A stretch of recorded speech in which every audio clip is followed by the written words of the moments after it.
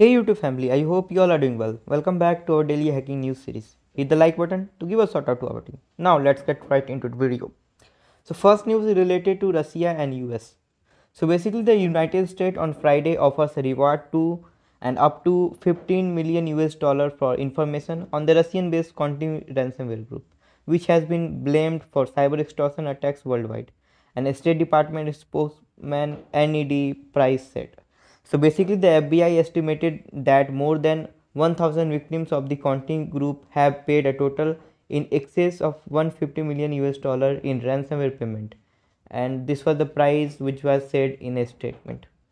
So uh, do you know why basically the US is uh, offering this kind of amount for the people those who are going to count out the information related to uh, Conti ransomware? Just comment it down and I'll give you a small briefing on it some uh, maybe us is afraid of it now next news is related to OpenSea. So OpenSea, which is the basically the primary marketplace for buyers and sellers for NFT or we, you can say non-fungible token. So this has been reported major problem with the Discord support channel.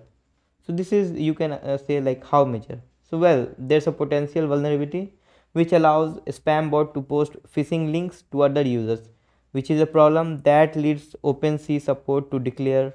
Please do not click any link in the discord. So right now nft is trending and this kind of vulnerability this kind of thing is, is going to spread a lot then the peoples will be in, in very big trouble. Now next news is related to a ransomware. So basically in an interesting turn of event a researcher has found exploit in most common ransomware threat so ransomware families such as Lockbit, Revil, Conti and Black Basta have bugs which if exploited then it prevents them from encrypting any file. So the, the researchers named hyperlink uh, where uh, hyper is uh, is uh, equals to 3 that you can see on the screen. So basically the researchers from hyperlinks claim that all the malware samples are exported to DLL hijacking which is a method used to inject malicious code into a genuine app and the bug could be exploited to stop file encryption. So this is you. Now the last news is also related to a ransomware and this is related to VHD ransomware. So basically the experts from Trellix discovered that VHD ransomware was linked to North Korean cyber army.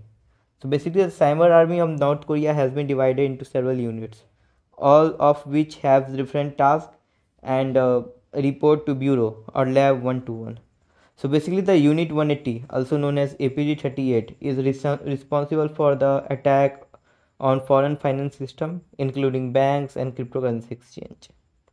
So this is used so do you know what is the full form B VHD so just comment down and uh, most probably there is something for you. There may be some sort of gift for you.